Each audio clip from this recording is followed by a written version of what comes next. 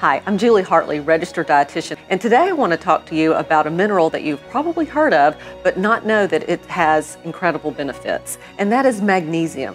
Magnesium has over 300 different cellular functions in the body and is also one of the body's main electrolytes, so it is essential to our overall health. But some of the benefits that you may not be aware of. It regulates calcium. Most people think about calcium as just the bone building mineral, but if magnesium is not present, then calcium is not able to do its job.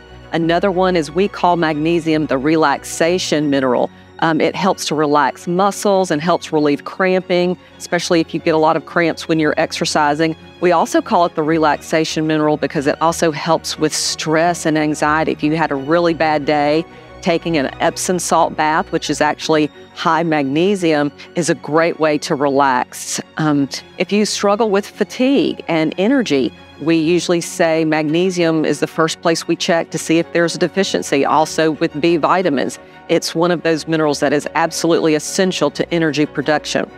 And overall heart health is beneficial for improving arrhythmias and is also a natural treatment for blood pressure. A lot of um, people use magnesium to ease constipation and even prevents migraines.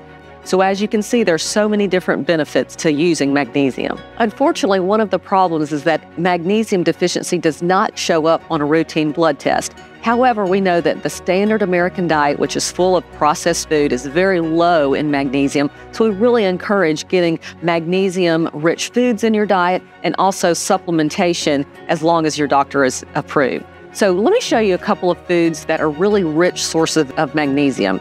The first one is greens, specifically spinach and chard. An excellent way to get in your diet rich in magnesium, a lot of other um, minerals as well too. You can saute it up with some garlic and onions and have that as a salad or throw it in a sandwich any way that you can get it. Um, avocados are also an excellent source of magnesium, again, also rich in, in other healthy fats and fiber as well.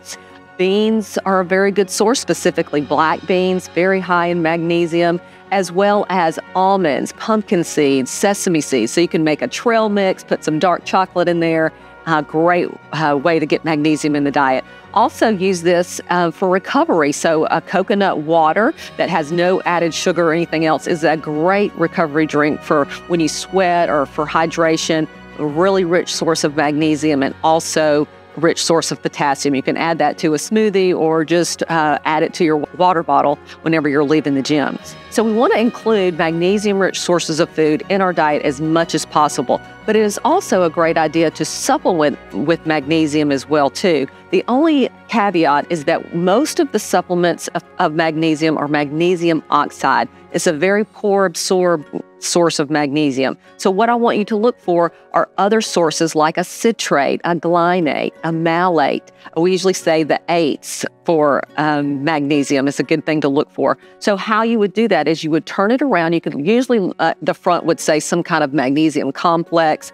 Um, you would turn it around and it would show you the source um, of the magnesium right here and how much is the source. So, a great idea is just to get one that has several different types because each different type would do a different thing in the body.